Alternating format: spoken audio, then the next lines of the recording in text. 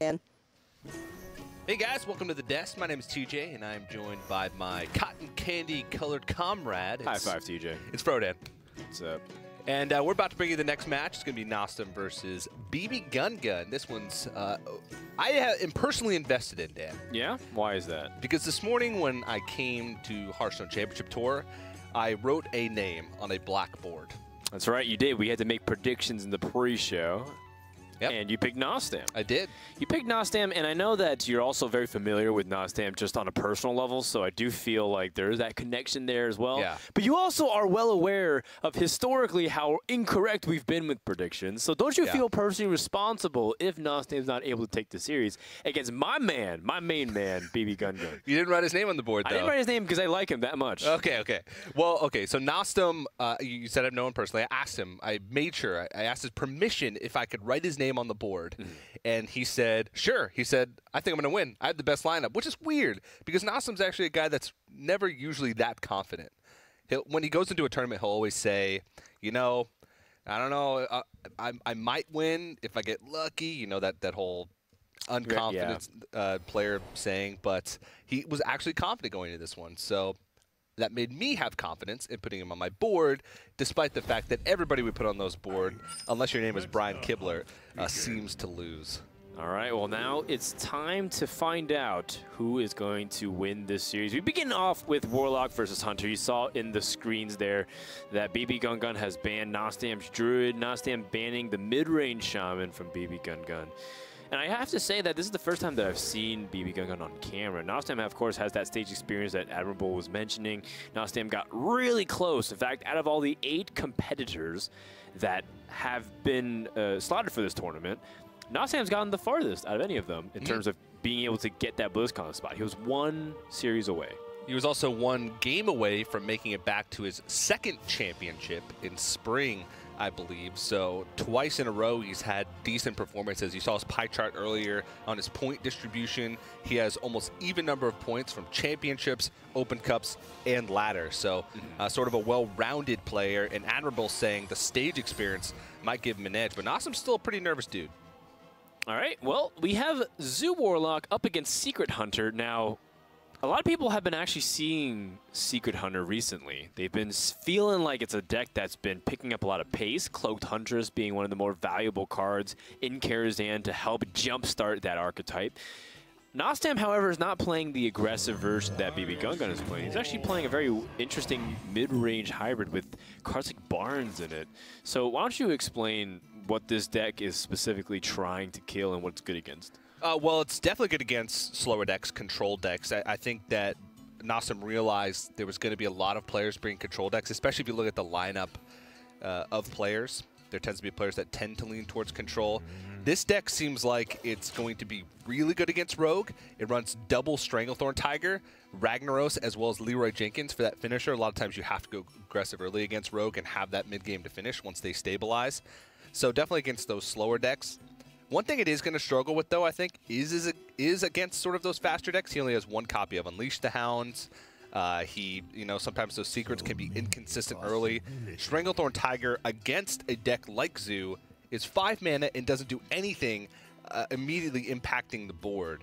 So I think this is one of the decks that it's definitely going to struggle with, being you know one of the faster decks in the meta at the moment. But yeah, some of those secrets could be make a difference early on. It's just a lot tougher for it to. Yeah, and there's also the awkward ones like Snipe, which Oh, yeah. always is 50-50 against if it's really impactful or it's, you know, killing off uh, abusive sergeants uh, and possessed villagers. Taking a look at uh, BB Gun Gun's deck as well, he's playing the discard Warlock, and it is heavily emphasized on discard. You can see Darkshire Librarian coming into his hand. He also has, of course, the normal synergies with the Malchezaar's Imp and Soulfire. I feel like this list has mixed opinions. You know, people saw the Malchezaar's Imp and the Silverware Golem come out in Karazhan. They felt like it wasn't a very strong, reliable deck. Why bring it now, TJ? Well, a, a lot of things is because of what decks became popular, I suppose, and you know what decks you think are going to be popular. Uh, Warlock is in a weird spot where it sort of targets not necessarily meta decks, but you know decks that might be there to counter meta decks. Hunter is a big one if you think there's going to be a lot of control where you bring Hunter. Zoo has always been sort of a natural counter to Hunter. So if you think there's going to be a lot of Hunter, then then Zoo is a good pick. Uh, also, it, it, sort of opens you up to maybe have a situation where you don't need to ban Shaman, because you can tend to be one of the decks that's favored early against Shaman. It all depends on what you what you want to bring. But one thing about the, the discard Zoo Warlock deck is that it can get fast starts that can win against everything. Sure. Uh, and that's sort of what you need in best of seven conquests, especially when you can't guarantee that you're going to get matchups. A lot of times you can't target a lineup or isolate a lineup is decks that are well-rounded and can take decks against a lot of things, and Zoo uh, happens to fit that mold quite well. Very cute play by BB Gun Gun the previous turn. You can see they used Crazed Alchemist to flip the stats while the Direwolf Alpha was impacting its current attack. And the way it transfers is that it actually keeps that while being able to get buffed. So it becomes a 2-4 instead of a 2-3. Nostam summoning Leokk, not exactly what he was looking for because he knows that his opponent is coming up on turns where he can punish through Defender of Argus. He would rather have Misha or, you know, Huffer wouldn't have been awful there. Um, interesting for BB Gun Gun picking up the Doomguard. Not exactly what he was looking for because he has Darkshire Librarian and he was hoping for a weaker discard that he didn't have to care so much about. Yeah, and draws something that he can't play, so he's sort of forced into Darkshire Librarian, hoping he doesn't discard doom Doomguard, but he does. That's, that's, a really painful moment. Oh yeah, and that means that he most likely has to make trades. He could opt to go face, but something like an Unleash the Hounds would punish it. There is no Houndmaster in this list from Nostam, so that's not something that he has to worry about.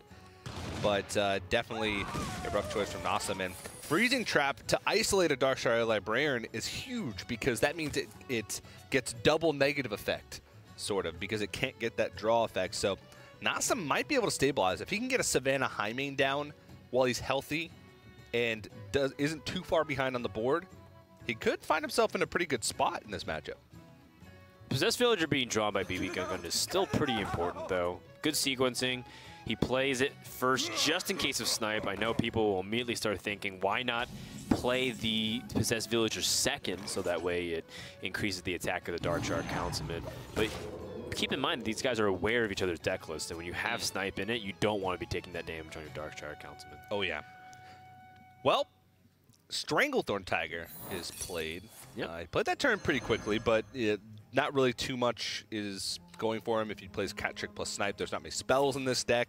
And as you mentioned earlier, Snipe can be awkward because you can hit bad stuff if you're playing against Zoo. But it is going to be something that's going to contest this Darkshire Councilman, which is a pretty big deal uh, in the long run. It's just, can he survive long enough uh, for for these big minions that he's getting to make a difference? Unleash the Houndstrong, though. Yeah, Unleash the Hound is certainly worth evaluating right here. Nostam immediately picking it up, recognizing that this is probably the, one of the highest values he can get off of it. Paired with Kill Command allows him to keep uh, a lot of uh, flexibility on his Tiger in terms of how he chooses to attack or not attack. And how is he going to... He has some pretty easy trades with into the 2-1 here. Probably with his Tiger coming out and clearing the board, it's going to be tough for BB Gun to climb back. He does have the Doom Guard, though. And if he's able to pair Doomguard with Silverware Golems and... Oh, oh wow. Yeah. That is awkward. At least if he discards Power Overwhelming and one of the discard cards, then he can play the other one sort of for free without the discard effect. So it's not the worst draw in the world, but if he plays Doomguard and discards both of his other discard effects, that could be disastrous. He'll get to fit in a tap, but he'll not be doing anything else that turn in a matchup where he kind of needs to. If you play D Doomguard, there's one of three scenarios which are really bad, is if you discard both the Darkshire Librarian. Oh no! Wow. He chooses to do, uh, Soulfire and discard the second Doomguard. BB Gun, of course, wistfully looking towards the distance over yonder, wondering what he did in his past life, which he deserves this kind of karma. How does he discard both of his Doomguards? The key to winning and pressuring in this matchup. And well, now Hunter is in commanding position. I, I, feel like Nostam has to do a lot of wrong in order to mess this up.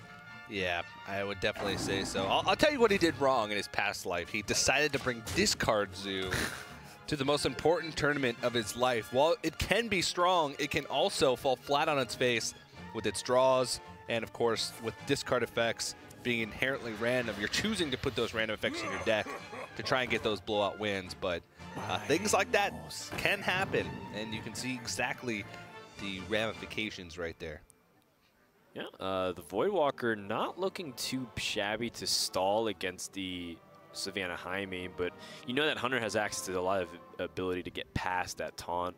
Soulfire is kind of weak in this position too, because you're not trying to uh, remove the Savannah. And I guess the Soulfire could be used to push for damage, as well as abuse the Sergeant. So these are the things that are going through BB Gun Gun's mind. Can he find a way to pressure his opponent now that both of his Soulfires and both of his Doom Guards are gone? His opponent's at 16. It's looking unlikely. It's looking unlikely, and he... That's going to be tough, you know? Voidwalker might end up blocking six damage. He's going to go with the Soulfire instead. I think his plan sort of has to be at this point try and burn his opponent out of the game. And that might be the best plan. Rag, I don't know if that's going to be that useful in this situation. There's too many bad targets on the board to hit. And yeah. I mean, BB Gun Gun knows there's only one Unleashed Hounds in this deck, and it's already been used. If he floods the board, Nostam is in a situation where he kind of has to trade. He he can't. He probably won't be able to risk. Well, actually, no. Hmm. How much damage is on the board? Five, eight, nine damage on the board. Well, you're, if you're going to trade, you're certainly going to kill Darkshire Councilman. I yeah. think playing Ragnaros wouldn't be that bad in this situation. Yeah. Instead, he chooses to play the secrets, so that way he can be safer against what his opponent can do. Definitely feeling the pressure here. You can just see that BB Gun Gun still uh, had the opportunity to squeeze in some damage and potentially win. And look at this, face attack with the Savannah Highmane. So if BB Gun picks up a minion that he can play, that should just be lethal, right? As long Wait. as the as long as the the trap isn't explosive. So he has six damage on the board right now. Mm -hmm. Three minions that he played would bring it up to nine, and then Soulfire would make a would make 13. So um, now that he's attacked, that's yeah. Now he knows that's guaranteed lethal as long as he doesn't pick, as long as he gets a minion from Dark Peddler, which is 100% uh, the case. So yeah, I, mean, that's pretty much it. I think Nostam gave his opponent a small window. I think he wasn't anticipating this the third Soulfire because he already saw both Soulfires, both the Doom Guards being used, and Power Overwhelming also being utilized as well. Mm. Uh, it's pretty unlikely for my opponent to have that burst, except through Dark Peddler, he's able to find that burst, and that's the game. Right? He just plays minion, he just has enough damage. Unless we're missing something. No. Almost out of time. Uh, am I am I missing something, TJ? Did he attack with the imp yet? He's he hasn't attacked with the imp yet. Okay. Okay. I, I was really scared for a second there. Okay. I think BB Gun Gun is extremely stressed it, because that looked extremely obvious to us. But I think he was taking a second to just digest everything and like making sure that he figured it out because that if, was a scary moment. If he picked up a Doom Guard there or a Defender of Argus, he wouldn't have had enough mana to to play another minion, right? Well, he, he discard he had two Doom Guards already done, so it's okay. just Defender of Argus okay. that could have punished him.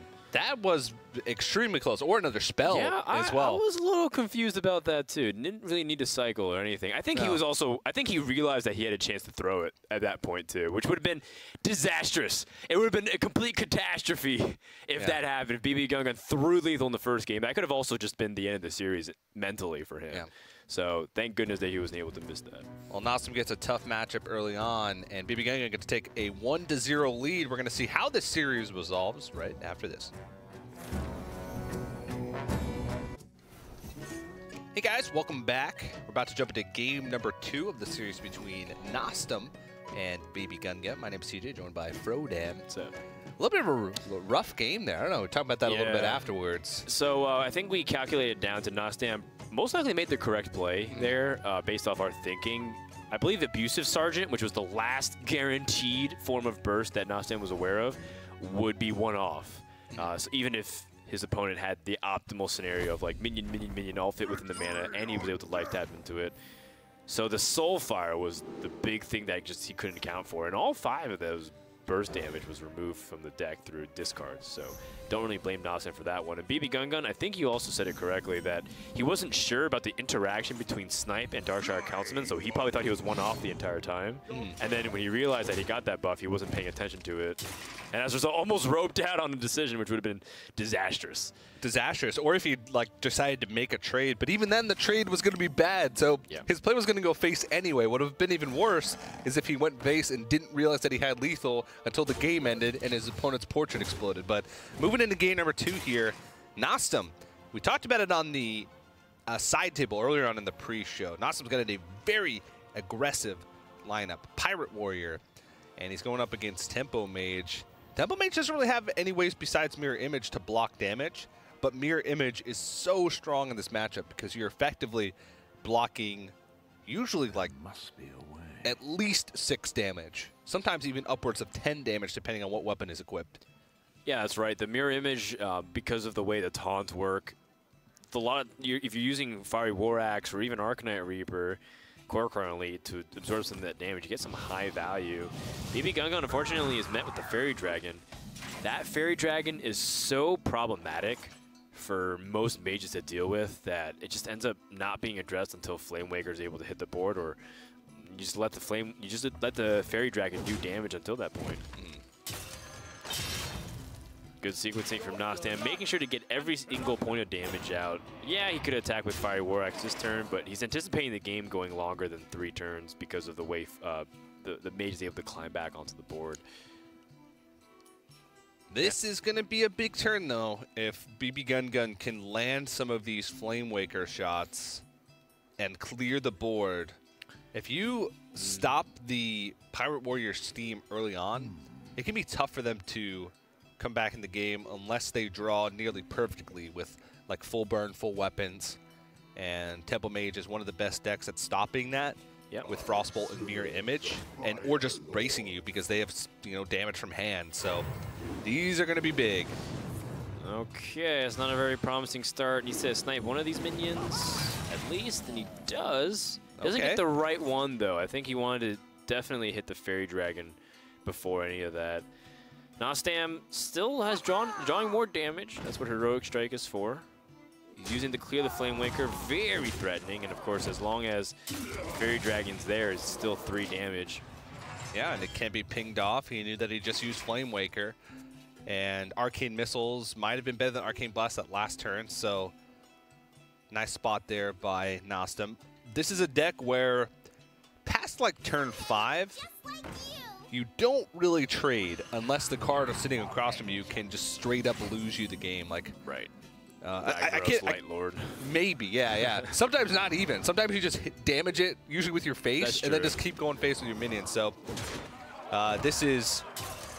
Yikes! So much damage. He has four more in the hand. We all know that the mage deck from BB Gun Gun doesn't really heal. This one could be over very quickly. Arcane Missiles is a nice pickup, though. Very nice. Now he has the opportunity to put a minion onto the board and be able to push out damage with the Arcane Missiles for free. And if it do, in the event where some catastrophe, where all five miss, then he's able to use it to clear the board as well. I would be worried for BB Gun Gun on his side if whether or not he's able to stop his opponent from dealing damage. Upgrade's not the worst draw here able to get a little bit more damage in. upgrade. I was waiting for you to, to come in there, TJ, with the upgrade sound. there it is. Yeah, there it is. People have been waiting for it all day. Here's the episode of The Simpsons where Bart was just known for the I didn't do it kid. That's what you are, TJ, but for upgrade. do it, TJ. We invite him on the Ellen show. It's like, do it, TJ. Like, all right crowd goes wild. Do you well, think you just toss Forgotten Torch? Actually, he's, nah, he he's playing to, around yeah. the Mortal Strike. Yeah, and that wow probably is gonna do it. I, I don't really see a way that Nostam can come back. It's with two cards, it's hard to deal eight damage unless BB Gun Gun were to activate uh, the second Mortal Strike off the top but I don't know if there's necessarily a reason for him to do so. There's not really any way that Nostam can punish him for it, I don't mm -hmm. think.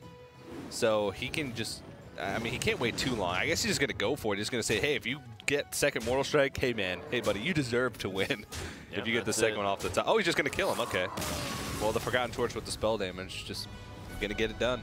Yeah, there's enough damage there from BB Yeah. Gun Gun to just end the game there. Whoops. So very fast game, uh, number two. But you just see that the Pirate Warrior, what it does when it loses the board control, it, when, it, when it's not able to leverage its damage uh, over time with weapons, and, and being able to get damage in with the board, it just ends up falling short. It wasn't that Nostam, um, uh, you know, necessarily played anything incorrectly. I think it's just the fact that he brings his deck expecting to kill decks like Rogue, expecting to really cheese out decks that are playing, taking their time to set up. If you're playing Wild Growth, you're just taking damage to the face while I'm putting minions on the board, and then of course using things like Leeroy Jenkins and Arcanite Reaper to finish the game. Yeah, and he got really close, but wasn't able to piece together the last points of damage. Tempo Mage is one of those decks that's going to punish you the most for missing a turn or for not trading because they have so many spells that will capitalize on that, especially against Pirate Warrior. I talked about Mirror Image, Frostbolt. Uh, the turnaround from the time that BB Gun Gun took the board to the time that he won the game was one, maybe two turns. So it's it's that quickly that you can get punished as a Pirate Warrior in that matchup, and it is a very inconsistent deck. But with Awesome Strategy, like you mentioned, he's hoping that he's going to be going up against the Druids or the Rogues or the decks that don't necessarily do much in the ways of stopping face damage early on in the game. So uh, not working out for him just yet. Down oh. 2-0. Yeah, down 2-0, but not out yet. BB Gun Gun is in a really good position to uh, leverage his lead into a victory. However, it is Conquest, best of seven. Anything can still happen from this position. So don't count uh, Nostam out for people who are fans of the Bob. Let's go into game three, Druid versus the Mage. This is a matchup that should help the Mage get onto the board and ultimately get Nostam closer to victory.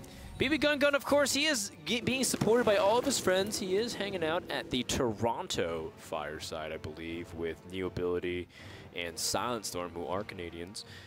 And uh, BB Gun Gun is, you know, well established within the practice scene of the Chinese North American com- competitive scene. He- he's the coach, essentially, of the QQ group over dozens of competitive players who have graced HCT. You look at Al Sky High, WTY Bill, Dwayne Talion, and now Neo Ability, Silent Storm, and Frozen even is also part of that group. And this guy has coached them all, helped them succeed. I mentioned this on the pre-show, of course, for people who were there. They're hearing it again. But I, I think it's amazing when someone who's been able to play and grind it out himself and also coach another group of people and help them be successful. This guy is a large reason why you see all those other players win as much as they do. He's one of those players that we talk about a lot of the time on Hearthstone Championship Tour broadcasts where it, it's sort of Yeah. his turn for the spotlight. There's a lot of players out there that are behind the scenes doing a lot and, you know, doing a lot outside of big tournaments that you may necessarily see on on Twitch. So uh, I- I- maybe it is his time to shine. This is his big opportunity. Right now he's got a 2-0 lead and Nostam's off to a relatively slow start.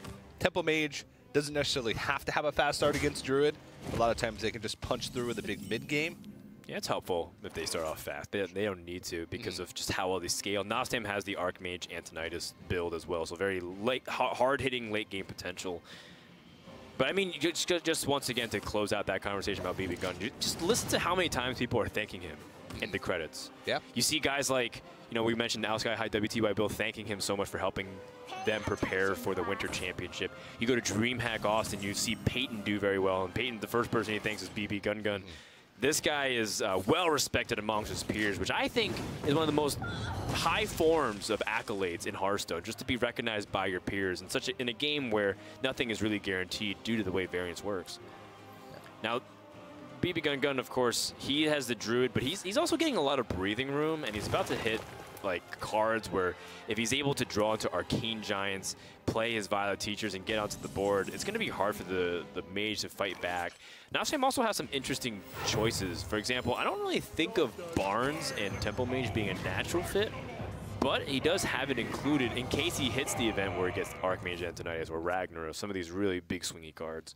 Yeah, there's a lot of cards in his deck that actually get really good benefit from that. You mentioned two that are strongest with Archmage and Rag. Azure Drake's pretty good. Water Elemental can even be pretty good. Flame Waker can provide you with a bunch of extra damage. Even Sorcerer's Apprentice can give you a lot of uh, extra breathing room as far as a single turn goes, where you can fit in extra spells. So Okay. He doesn't Uh, have the book. he doesn't that have Babbling sense. Book, yeah. Yeah. And so he's sort of hedging against a, a good uh, Barnes with this deck. And imagine if he plays Barnes and after playing Emperor the worst end hits Archmage Antonidas. He's going to effectively fill his hand up with fireballs, which might be enough to just end the game within the next few turns. So uh, definitely a spot that uh, Nostam built his deck around happening in a game.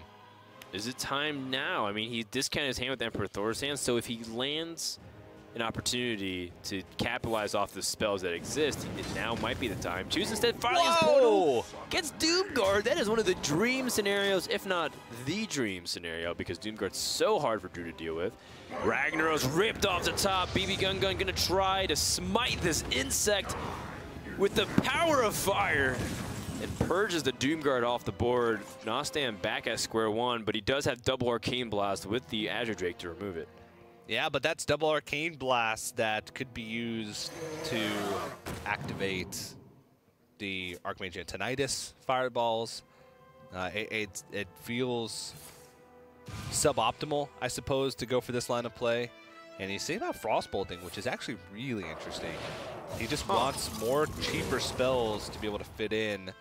I I think he wants to play Rag next turn, but he also wants to be able to clear something off should it be played. Uh, like if he slams an Arcane Giant, it would allow him to Rag and guarantee the shot uh, to hit onto face with the reduced Arcane Blast. But Ah, yes. I- I- and it also allows him, if he has Emperor, uh, not Emperor, Archmage Antonidas, you know, in the event where he needs to squeeze in better, more mana-efficient plays, maybe he feels like a cheaper Arcane Blast is just better. yeah, However, the Arcane Giant is very threatening, and now Nostam has a chance to smite his opponent's minion with the force of a thousand suns. Will it go his way? let's see. No, it does not, but burn to the face is not necessarily bad either. Yeah, I don't, I don't mind it. And this is the point where BB Gun really hopes that Moonglade Portal puts out a sturdy minion. If it's a flimsy minion that dies really easily. Oh? Oh? Wait, TJ, I want to tell a, a little story here. In SeatStory Cup 5, which, by the way, BB Gun did help me practice for. He actually gave me a couple of deck suggestions and helped me figure stuff out. And part of the reason why I was successful for that tournament. Uh, BB Gun Gun, oh sorry, I say, uh, I was talking about some people with ideas, and one of the ideas that's being floated around was playing Illidan Storm Rage in the Token Druid because of how easy it is to generate tokens and Power the Wild synergies. And it's just, it's actually amazing to see it come out here in this position. Because one, we rarely see Illidan Storm Rage be played. Two, we rarely see it be played effectively. And three, the fact that Malfurion summons Illidan Storm Rage tickles me in all the right places where a role player wants to be tickled, TJ. Yeah, the the World of Warcraft Legion team snuck in uh, to Ben Brode's Hearthstone RNG lever room and started pressing buttons that they weren't supposed to press. What does this button do? oh, it summons an Illidan. this one's golden. Yeah. And Illidan goes down, but I mean, not before summoning some 2-1s and absorbing the damage. Gun has... Wow! Whoa! That is quite the imposing board with Fandral and two Power of the Wilds. BB Gun Gun can also feel like he might be on the verge of dying, which gives him a Yogg-Saron potential play. Not really feeling it though. You have the Fandral and you have two Power of the Wild. It's a very imposing board, and I feel like you can even just trade into the Flame Waker, even though you're missing 10 damage. You have such an imposing board that your opponent has to deal with it. If he doesn't, he dies. Yeah, Nostam doesn't really have a way to deal with it. He, he has no Flame Strike in his deck. He doesn't really have the potential to get extra burn here. And Barnes is still sitting here from the beginning of the game. He, he needs Archmage Antonidas. Tonight, the tale of water elementals. oh man, That sounds like a really boring tale, Dan. that I feel like that's one of the worst outcomes that he could have possibly gotten. I mean, a mana worm would have also been kind of useless. I, but- yeah, I suppose Mana Worm would have been a little worse in this case, uh, where you probably want to be able to freeze a minion next turn, but he doesn't even have that many minions left in his deck. He's That's got Water. Elemental, one Azure Drake, And the Archmage Antonidas. and I the Archmage Antonidas. I think he also had another um, Cult Sorcerer. Cold yeah. but uh, very little. It was probably about a one in six, one in seven chance that he got the Archmage, and it was sort of a necessity there because he would have been able to get two fireballs, which would have allowed him to maybe uh, try and set up a lethal for the following turn. Uh, but now it's really going to be tough for him to push through. I mean, he's still got a lot of power on the board, and those mirror images are blocking a lot. And if BB Gun Gun has to rely on a Yogs run, if he feels like he's in danger of dying next Oh, turn, man. But the one thing about Yogg-Saron now, since its change, is the more minions that are on the board, the more effective it sort of is, because Yes. the, the the less of a chance that it has to kill off itself. So the more potential it has to uh, do damage to the rest of the board. Yeah, I mean, if it able to help you get past those taunts, you have 15 damage represented, and there's a lot of times where you buff your own hero to attack with bite or Rockbiter weapon or heroic strike. I mean, that could realistically be calculations that Baby Gungun is going for to end the game. Violet Teacher doesn't do that much onto the board. Here we go. Yogg-Saron right. being played. Just needs to get past the taunts. He sees that at least Phantom's alive. Mind Blast puts Head him on a, uh, uh, on a clear to win the game. Misha, silence. Signs of taunt? No, that's not what he wants. That's he's clearing the board. Not too bad. Draws the card, summons a few minions, just needs to get past it.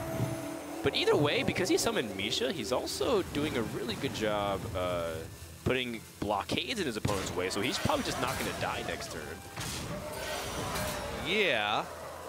Nostam, even if he picks up Fireball, is just not going to win. Wild Elemental is not going to be it either. So even though not, uh, didn't end the game, by summoning Misha, he effectively locked Nostam out of any chance to win the game. Yeah, that's a scary board. Wait, what? Water uh, Elemental? I guess the damage being dealt does end up letting it be frozen. Effigy going to give a Argent Horse Rider, but Nostam is going to fall short. And he's going to go down 3-0 Yikes. in this match. And even though in Best of 7 Conquest, crazy things can happen because of Conquest strategies revolved around targeting a specific deck from your opponent, winning four games in a row, no matter what the situation, is very tough. Yeah, he's going to have to take down Hunter four games in a row from BB Gun Gun. And uh, for people who aren't uh, able to access the deck lists, BB Gun Gun is also playing the Secret Hunter, which is very aggressive. And that 100 list is capable of just taking games because it ends up drawing so aggressively that it's very difficult to sweep at 4-0, given the fact that he still has one of the most inconsistent decks in Hearthstone, which is the Pirate Warrior. Everyone who's played Pirate Warrior can agree on two things. One, it's awesome because yahar pirates. But the second thing is that it's also extremely draw dependent sometimes, where you just get really awkward hands and you're not able to do anything. It's going to be tough. It's going to be really tough. Some inconsistent decks, but uh, we'll see if the Secret Hunter from BB Gun Gun can prevail and win him the series right after this. Dan, it's looking pretty rough for Nostam at the moment. Down 3-0 against BB Gun Gun in this series, and BB Gun Gun looks poised to take this one quite easily. Yeah, my, my main guy. You know, I really wanted to actually pick BB Gun Gun before this tournament actually began, but out of respect for him, out of knowing my power and the responsibility that casters have in terms of predictions, uh, I picked Neo Ability. But I was also split on that. Excuse me. I, I felt like Neo Ability and BB Gun Gun were two of the guys who go into actually our favorites of the tournament, but people just don't know about. Now let's go into game number four: Hunter versus the Pirate Warrior. Almost as as aggressive as it gets in the current metagame. And while BB Gun Gun is up 3-0, this Hunter deck also can be inconsistent with some of its draws because you can land into double Freezing Trap and double Cat Trick in your opening hand. But to 4-0 this deck, it's going to be hard. Good one. That's my best uh, pirate pirate impression. Tink. I don't want to try it again for fear of failure Yeah. the second time. I'd never feel failure when it comes to the upgrade sound, unfortunately. But let's get into it. Uh, BB Gun Gun, um, the origins of his name are pretty interesting. Uh, he's actually a really big BB gun fan. Is it? He actually named all of his decks after the names that he's given his various BB guns that he has at home. Such as. no, he did not. I'm looking at his deck list right now. He named it one, two, three, four, five. Those are the names of his BB guns. People call him BB God God in the in the coaching world. Yeah. So, I almost got away with that one, too. yeah, I know. You're- for you're- clarification for the people at home, I you know? completely made that up. I actually did think that he was Korean at first when I saw his username because Koreans tend to pair the, the consonant syllables to make a hard sound. Mm-hmm. But then I found out that he primarily, you know, is obviously he's Chinese and speaking uh, Chinese. But he lives in America, of course. People wondering if BB Gun Gun's a Chinese native. Um, of course, he is also in a position where his hand's a little bit awkward. We kind of mentioned the fact that this tends to be aggressive, but it's it's it's conditional. A lot of times the aggression from the hunter tends to be through racking up the damage on the hero power a lot and then having things like Leeroy, the Argent Horse Rider, the Eaglehorn Bow do massive damage. But there's also times where you play like the Tempo Mage where maybe you have a slow hand, so you adapt to it and you actually slow play your opponent. Instead of playing things on two, you might just hero power. And then you try to combo the damage all in one go, so that way you're pushing your opponent down to low health, especially now that Warrior has lost his ability to, to armor up. That could be what BB Gun Gun is looking for. It could be, but the thing is, almost every single point of damage when you're playing against a Pirate Warrior matters. If you are mana inefficient for a turn, or if you sort of pass a turn and don't develop your board, or interact with your opponent's board, you will get punished for it. This deck relies 100% on dealing damage to your face. That's what it does. And if you let them get extra points of damage on your face that you don't need to by taking it slow, a lot of times that can that can end up losing you the game. So uh, I, I can understand why he went with maybe what looked like not a great play with the Hunter's Mark to take out a 1-3, but I think BB Gun realizes, when am I ever going to use that Hunter's Mark again? When am I going to have a free one damage to throw into something that's Hunter's Marked again? And so he used an awkward card in his hand uh, to make something out of a situation where he didn't really have much. I mean, there's so many weapons from Nostam to push damage. I think he, what he's really looking at is the ability to use Arcanite Reaper with that upgrade and instantly add six, maybe seven damage onto the weapon. BB Gun Gun picks up a second kill command. That is one of the awkward moments again that we're talking about. He was looking for other things, you know, whether it's Kindly Grandmother or another Secret Keeper, Fiery Bat, uh, some of his other minions. Uh, I think he was originally looking at the Secret Keeper plus the Freezing Trap development this turn. Certainly, the fact that it adds damage uh, is going to be beneficial, but when your opponent has a hero power that's conducive to giving charge to that South Sea deckhand, I think it almost feels like that Freezing Trap was Freezing Trap is worthless. Yeah, it does give you three damage though, which is kind of important. Could be the case.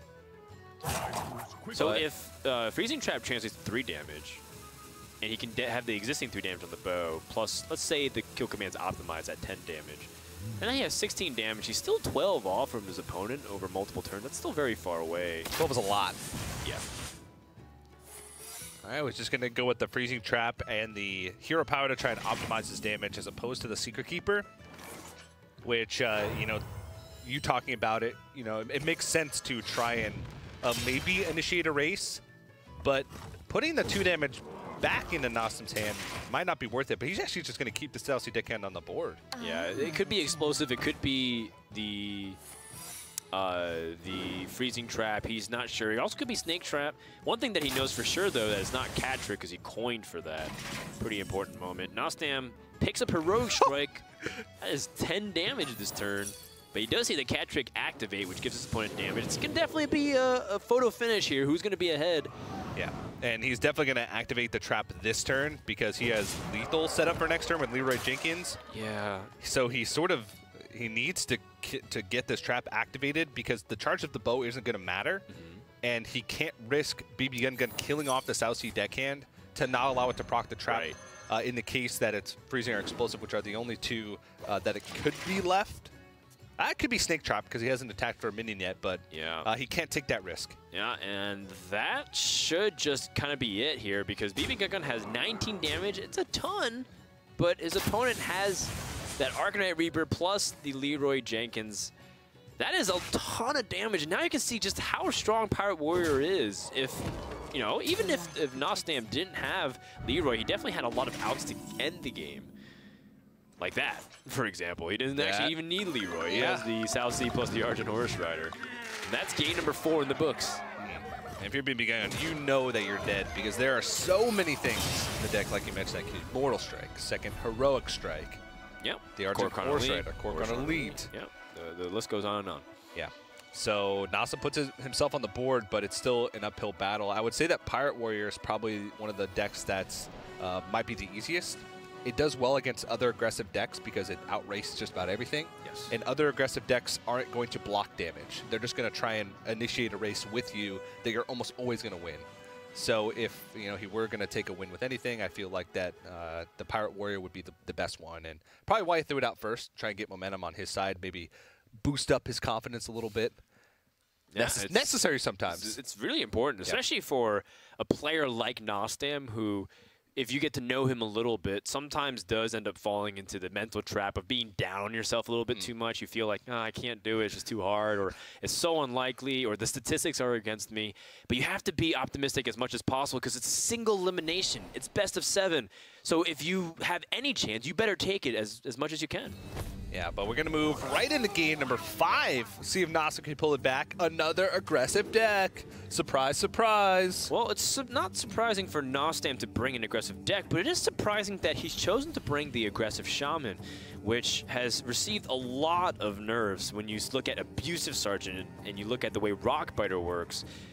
Now, it, you know, Shaman does struggle, and of course, Tuskarr Totemic, excuse me. It dropped a significant amount of percentage points. If you look at the most recent Data Reaper, for example, just by play percentages, it's dropped somewhere between 6 per 7%. That's such a significant drop in terms of performance relative to where it used to be. It, it was actually the best deck in the game, and then it dropped to the win rates of Priest. So that, so that gives you a, a frame of reference of where the scale actually is. And yet, Nostam chooses to bring it, but you can see that already that he has different choices. Worgen Infiltrator being one of them, the Eternal Sentinel, which unlocks your overloaded mana crystals. That was also mulliganed away. I mean, this is essentially as aggressive as it gets. For a while, aggro shamans were hard to distinguish from mid-range shamans because they would run sort of the same things. You know, they would run Tuskarr Totemic, which doesn't scream at you that it's an aggressive card.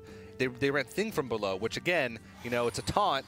It doesn't scream at you that it's an aggressive card, but pretty much every card in Nostam's deck, maybe with the exception of Feral Spirits, I suppose, uh, would be considered an aggressive card. Like you mentioned, the Worgen Infiltrators, Eternal Sentinels. He even still has Rockbiter in his list, despite the change to Yeah. two mana, which is huge. And you could see in his mulligans, he had the early game there, so he decided to keep Doomhammer in his mulligan against a fast matchup. That's a very interesting choice for me. Yeah, so th- the thing about the Secret Hunter list, too, is that, like you said, it's not exactly adept at dealing with aggressive strategies, but there are a couple of tools in it. We look at Explosive Trap being one of those really useful things at making sure that uh, the aggressive decks can't pile on the board damage. We have Kindly Grandmother, which of course trades up against a lot of those two ones. So that would be really important as well. Um, so I don't think it's necessarily like, even though Shaman traditionally has been having the edge over Hunter in recent times, I don't think it's you know it's guaranteed. Yeah. So we had a, a slight disconnect there during the mulligans, so we're just going to go ahead and, and get, get a regame going uh, for these players. So we should be jumping back into game number five in just a moment. Uh, but one thing to notice for these players um, is that the aggressive lineup from Nostam should. Let's take a look at the hunter list first, because the hunter list is probably going to be where the, the matchup is going to come down to. There's a very much more aggressively themed hunter from BB Gun Gun, which is interesting considering the rest of his lineup isn't necessarily all there. Nostam, his hunter is probably his slowest deck. So most of his deck should be able to take wins against the hunter, except for the hunter mirror matchup. That's where it's really going to come down to, I think. That's a really good point. Like I think the fact that Nostam's playing a very slow Hunter, which is out of character for his the rest of his lineup, but you can just very see clearly see of what this Hunter's trying to do. It, it, it punishes decks like the Control Warrior very, very harshly, and I think that's a very good call considering that he's not the only person in this tournament to think about ways he can kill Control Warrior. Coming up uh, in just a couple of ser- uh, a couple of games here, we have Frozen up against Silent Storm, which will be interesting to, to say the least. Whether or not the Priest and the Paladin, which is designed to kill Control Warrior, will end up working out for him. Uh, take a look also, by the way, the graph you see on your screen, Baby Gun Gun uh, did end up eclipsing the three-digit point mark. Very prestigious club. Only a handful of players all over the world have been able to do it this year. Uh, always finishing high on ladder and being able to grind those open cups. 37 is some of the most I've seen of any person. Oh yeah, that is uh, pretty impressive. Uh, as as impressive as Nostam's. Uh, BB Gun, of course, has a couple more ladder finishes, but 41 points he's one of the very few players to have open cups be his primary point source. But he's also one of the few players to have that sort of, you know, three even marks as far as point sources go, having almost a similar amount of points from championships, uh, ladder, and open cups. His 25 championship points coming from his second place finish in the Winter Championships, as well as two decent finishes as far as preliminaries go. You do get a lot of points for finishing 9th through 16th, which he did in the spring. Yeah, so uh, Nostam definitely has a lot uh, coming into this, just in terms of how much time he's invested in the Open Cups which is always interesting to see what player has qualified through what path because yeah. we do see that traditionally a lot of players who've qualified for some of these last call invitationals have been through the ladder system. You look at Muzzy and Frozen, some of these guys who have 90 plus points, which is absurd. It's more points than some people have acquired throughout the entire year by themselves. And then they, of course, they added with majors, uh, the championship points, as well as the Open Cups themselves. Uh, so I, I, do think that Nostam has had a very interesting path getting here too. I think most people are also very familiar with him, so they do tend to side with him as the fan favorite. I really hope that he's able to keep himself composed, and I think that game four victory has helped him a lot. Yeah, I think so. Uh, just as an update, guys, the players uh, after disconnect uh, have used that sort of as an excuse to go uh, take a quick break and rest them real quick. Is a long series. Want to make sure that they're uh, level-headed enough to stay focused in the next game. Um, but you know, talking about their their lineups a little bit more, I I actually want to see sort of one of the players from this side of the bracket with an aggressive lineup make it to the finals on the other side of the bracket against Frozen with his lineup. I don't. I, you I, don't want to see it? No, I kind of want to see Frozen uh, go for it all, man. I, I, think it'd be really poetic mm-hmm. for somebody who is not only on top of the game and on top of the ladder, be able to bring something unique, but also just defy what we know about tournaments. I think one of the biggest things and criticisms against Conquest, and specifically against the formats that a lot of people are playing today, is that all you have to do is bring the five best decks. That's what people kind of recommend. You know, that's what people are saying what they're bringing. Noblord made a huge post, 2,000, 3,000 words, uh, detailed on the competitive Hearthstone subreddit. He was talking about how, you know, maybe my strategy is just to bring the five best decks, and this is why I think these are the five best decks. Frozen just threw that notion out the window, saying that I'm going to go a level above that and try to counter everything. And I feel like that's that's amazing. The fact that someone can actually be successful with that I don't think he will be. I mean, that's why I didn't pick him. I, I, would, I would love for Frozen to be successful. But at the same time, if he is successful, what does that mean for the rest of the tournament series? It just means that maybe people are thinking about it too stubbornly. They're thinking like, well, if I just bring this, I should win, and at best, I'm 50% odds against my opponent's decks to win. But Frozen says, you know, I'm going to try to take a huge risk here, and I think that's awesome. Well, we were looking at the tweet that he sent earlier. He effectively said, I really want to win, but I don't want to win at the expense of my own fun, is what he said. You know, he really uh, feels like enjoying the game is a huge aspect in winning the game. So, you know, that is a bold call. I, I enjoy mind controlling my opponent's minions. I don't sure, know about you, TJ. It, uh, it, there's not really a greater feeling than playing against a Control Warrior who thinks he's got you beat by tanking up for the rest of the game, and you slam aside so Spell Eater, and get tank up yourself, but have better late game. Yeah, I, I, can do it. You can do, but I can do it better. Exactly. That's, that's kind of what the control priest is trying to say to the control warrior. But I mean, I don't want to even discount the fact that he's also the only person bringing paladin to the tournament as well. Um, it mm-hmm. makes me really excited, just because you know, in, in TJ, in, in, card games in Hearthstone, there's there's levels. You know, the first level we call it level zero, level one depends on what numeric system you go by. Maybe you, you maybe level alpha if you're Greek. I start at six. You start at six. So level six says that you bring the best strategies and you try to bring what's good. So we're talking about shaman, druid, uh, the warrior, or, or, hunter. You know, some of these really iconic classes to what we see today. The, the level above that, level level one or level seven, level seven, is to bring decks that beat that and then there's this weird level above that, level level two or level eight, where you're trying to counter the counter. It's like the paper to the rock, which is you know to scissors. And then there's the level above that, which somehow Frozen has transcended creating this this level lasagna, if you will, of just these are the layers that I'm gonna go, and I'm gonna go to the fourth one and try to beat all of you. That's like, the that's the real grinding meat of it. It's like that kid in fourth grade. You'd be yeah. playing rock paper scissors, and he'd come up and go, hand grenade. Oh God, I hated that. Kid. And just it, it, he would That's say that, that, he, when he got a wedgie, I would kind of like be like, no, don't do that. But you know, secretly back when I'd be like, yeah, yeah, but then he would say that he liked the wedgie, and then everybody would be freaked out. yeah you're describing. you're just describing me now, dude. But yeah, Fro- Thank you very much. Frozen is that kid. He's that kid. Well, there is a, a- a internal, there's an inside joke with um, amongst the casters that Frozen apparently is my son. That's what TJ kept telling me. Yes. So that would probably make sense. He really is. Uh, but uh, I think we uh, have some some other people across the studios to uh, check in with. It's going to be Do now? Uh, that's admirable and Firebat who are joining us from uh, over yonder. How you guys doing over there?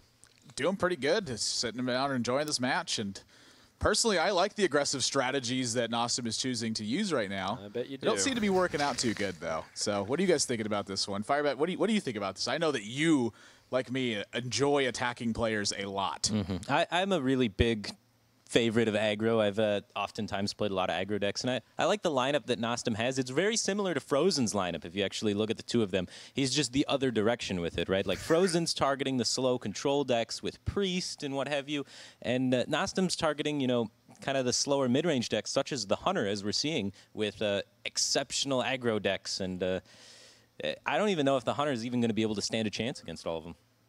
You guys share the same sentiment? Oh, so you think that Nostam is in a uh, is like the favorite or position to win the series from down three one? I wouldn't say favorite, right? Like he still has he has he has maybe you know 65 percent in his upcoming three matchups, and so he's got to win three matchups where he's got a 65 percent edge. And if you add that up at the end of the day, are you then favored to win No, three of those in a row? You're not. So I I think he's at a slight disadvantage because he wasn't able to snag Yeah. any wins prior to getting to his target point. Fire Firebat, I hate to interrupt you, man, but we're actually going right into game. Okay. So, uh, sorry, you were making bring up some great points, but I Wow, did. TJ. I interrupted a world champion. It was because oh my Firebat was god. doing too good of a job, right? yeah. Yeah. Yeah, I feel still ashamed of myself. But we are getting into match, and we felt like that was important. So let's go ahead. Game number five, BB Gun Gun versus Nostam. Don't Uh, worry, TJ. Firebat can wear purple shirts. He can make the jokes, but he won't replace you in my heart. Thank He can even dye his hair an awkward shade of yellow and as a mohawk strip on the top of his head. Yes, it was a template that I forgot about. All right, well, let's see. Firebat said that Nostam had 65% chance in his remaining three matchups, but even if you calculate that as far as, you know, 65% chance over the course of three matches, it is still not a favorable position to win the entire series. In fact, it is a 27.4% chance to win the series with 65% chance to win three games. Repeating, of course. Repeating, of course. Well, I mean, BB Gun Gun's off to a fantastic start, being able to coin out these double one drops and be able to develop the freezing trap against the totem golem, which is super problematic. Nostam is overloaded too, so it's not like he has much options here, and I think he's forced to uh, to, to attack into here. And so with that freezing trap, he plays Eternal Sentinel, unlocks himself so that Flamewreathed Faceless can come out the following turn. Is it worth it, though, to play the Eternal Sentinel now? He's still going to have the mana crystals available next turn because he didn't overload this turn. So maybe it's better to play the Flamewreathed Faceless anyway, since the Eternal Sentinel would be traded into relatively easily by a number of things. Or would it be better to wait until the Flamewreathed Faceless comes out, then play the Eternal Sentinel to unlock crystals later on in the game? Yep, uh, great point there.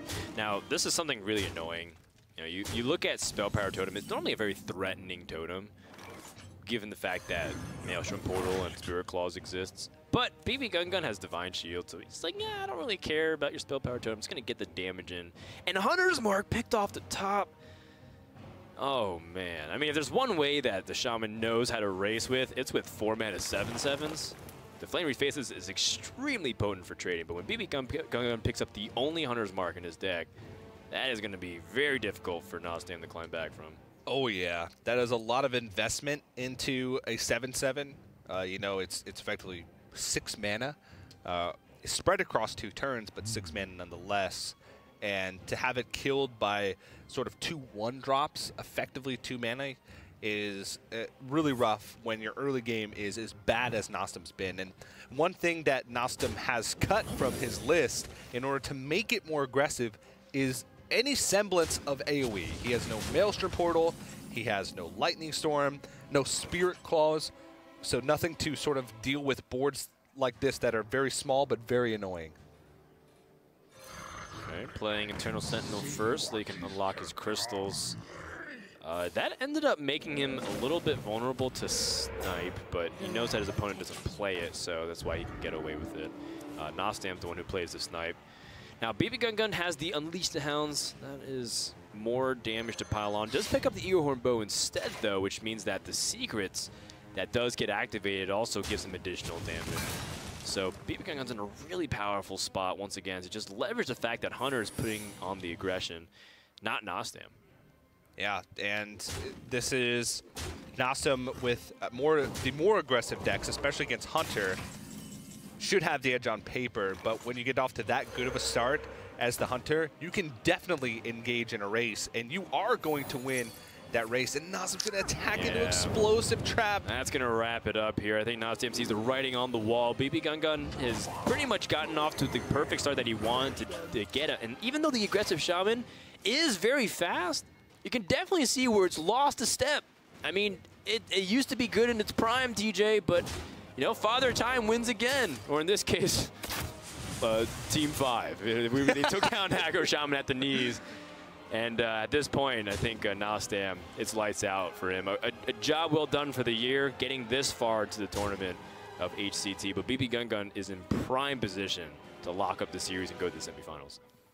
Yeah, these are the moments where you're when you're Nostam, where you think back to Winter Championship, and you go back to the finals versus Amnesiac, and you think about all the little things that you could have done back then when you were so close. Not like this. You you, you can't help it. You, you don't want to think about those things, but you can't help it. And uh, again, it's it's going to be a story of uh, better luck next year for Nostam, but BB Gun Gun finally you know, proving himself. All these players, like you mentioned, that have used BB Gun Gun as a practice partner and as a tool to help themselves win, it's his turn to try and make a big run towards a world championship. And Nostam, he's going to throw all the damage that he can possibly throw at the face of BB Gun Gun, but it just won't be enough. Yeah, I'm, I've been saying it throughout the series, uh, and we've been saying it in the pre-show, and, and throughout the entire year, you've been hearing whispers of BB Gun Gun. now he's actually here, and being able to go to the semifinals. Don't be surprised to see this guy win the tournament. Yeah. So many BB guns he can buy with the money from the World Championship Not if, why he so, if he so chooses. I'd like to think it is. Uh, so it has a theme. Uh, but uh, a very impressive performance. BB Gun, I mean, he, he just brings solid decks. He brings So- solid, but he also brought something a little bit weird. You know, the Secret Hunter is pretty cool to watch, Yeah. and of course his own take on the Tempo Mage. I think a lot of people have been debating to the ends of time. You know, people, especially within uh, the Western community, laugh at the idea of Kabbalist tomes and some of these other cards being included in, but they have faith in these cards, and for good reason because they've practiced it dozens, hundreds of times by now. All right, well, to give you guys a deeper look at that match as well as preview the next quarterfinal to come, let's send it over to our friends. That's Admirable